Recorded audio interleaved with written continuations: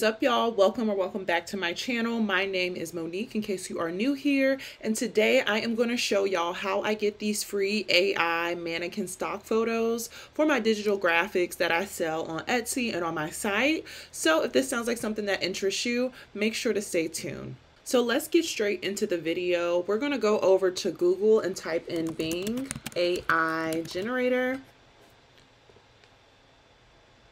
And so you want to click on the first site that you see, which is this one.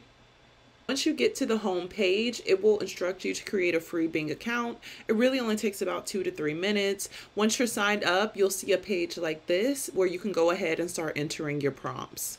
So I went ahead and typed in this prompt. So I put in HD African American wig mannequins with blonde frontal wig being displayed in a hair salon. So right here, you can really get as creative as you want. So I'm gonna change blonde to, let's say green.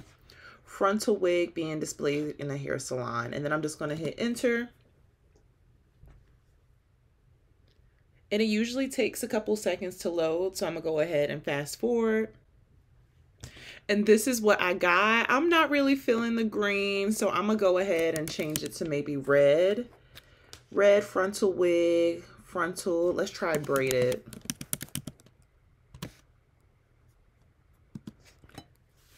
Let's see what I get.